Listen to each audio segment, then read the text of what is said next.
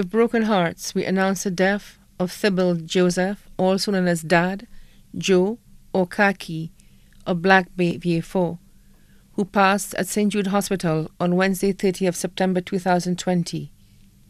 He was 86 years old.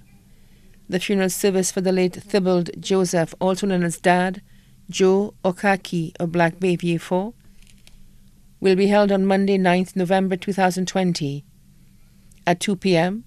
at the Church of the Purification of the Blessed Virgin Mary Laborie. The body will be laid to rest at the Saltibus Cemetery. The body now lies at Lazarus Funeral Home, New Dock Road, Vieux Fort. May he rest in peace. Note, all COVID 19 protocols must be observed in and out of the church. Please wear your face mask. Due to COVID 19, the family has been given strict guidelines. Therefore, 80 persons will be allowed in the church and a further 25 persons at the cemetery. In light of the rising cases of COVID 19, the Joseph family, in conforming to the set protocols, regrets to announce that there will be no reception following the funeral service. We sincerely thank you for your understanding.